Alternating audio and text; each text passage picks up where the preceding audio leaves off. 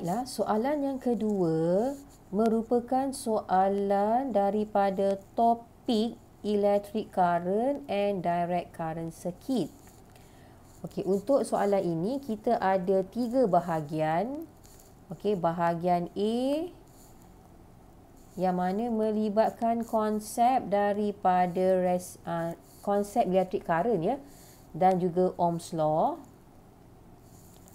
Okey, soalan B melibatkan konsep resistivity dan soalan C melibatkan konsep resistor in series and parallel serta Ohm's law. Okey dan markah yang diperuntukkan untuk soalan ini adalah sebanyak 12 markah. Okey dan saya juga dah berikanlah jawapan akhir untuk soalan ini. Okey, so kita akan bincangkan soalan ini, okey, bahagian demi bahagian lah. Let's start with question 2A. A 6 ohm resistor is placed across the terminal of a 12 volt battery. Calculate the number 1 current flows through the resistor. And number 2 magnitude of charge pass through the resistor in 2 seconds alright to answer this question maybe to get the idea we can come out with a circuit diagram. Okay given in the question we have a resistor and the resistor is connect to a battery. So given that the value of the resistor R is 6 ohm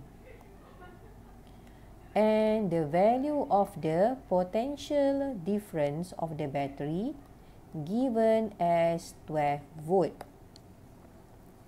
Okay, as we know that when this is a complete circuit, we have the current flow through the resistor.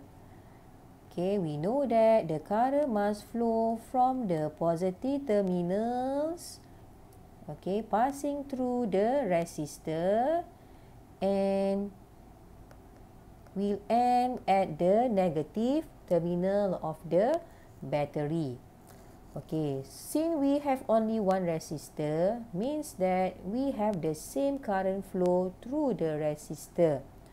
Okay, so for the number one, we want to find out what is the value of the current flow.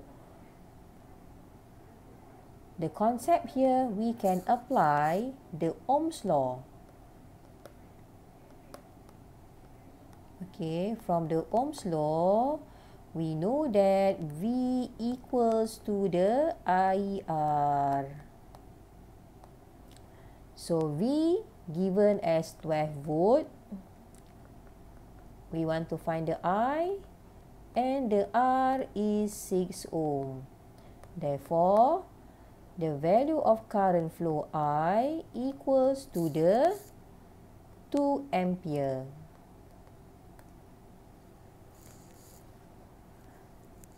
Okay, now for the question number two, we want to find the magnitude of charge.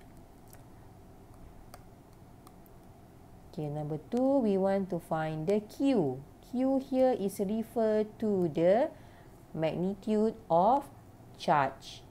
Okay, given the time taken, T is 2 seconds. Okay, here we need to apply the definition of the electric current. Okay, we know that electric current I equals to the dq over dt. Okay, so you need to apply or use the value of current that have been calculated in part 1. So we already get the current is 2 ampere. So we want to find the dq during the time of 2 seconds. Therefore, dq equals to the 4 coulomb. Okay, the unit for the charge must be in coulomb.